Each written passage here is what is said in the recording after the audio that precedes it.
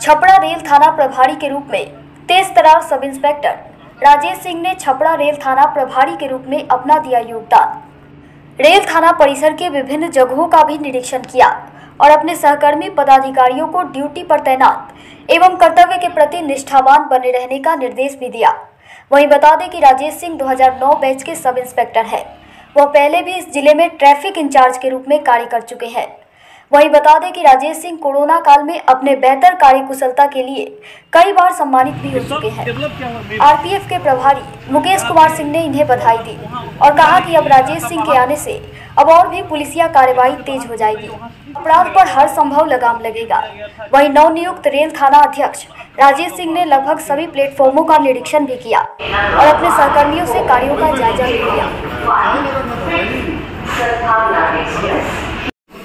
ये हाँ अच्छा तो इसको बुलाओ ना है क्या नाम उसका अजय अजय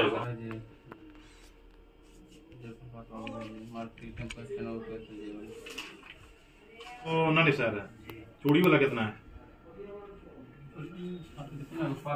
चोरी चिंता वाला क्या को है उत्पाद वाला क्या को है